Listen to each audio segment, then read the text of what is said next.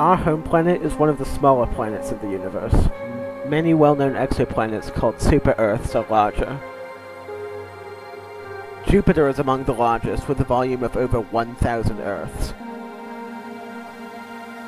However, even the smallest, dimmest stars, such as Proxima, are bigger. A closer star, the Sun, is known as the Yellow Dwarf, but has a volume of over 1 million Earths. There are many stars which are more massive than our Sun, such as Procyon, Spica, and R136A1, which is one of the most massive stars known. These make our home planet look rather microscopic in comparison.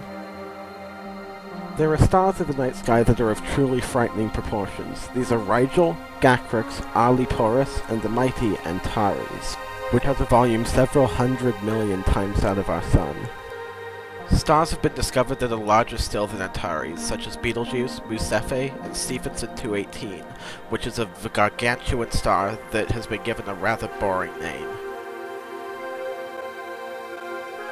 In the early universe, there may have been stars which were larger than even this, called quasi-stars, which would span the entire solar system, and would have given rise to today's supermassive black holes.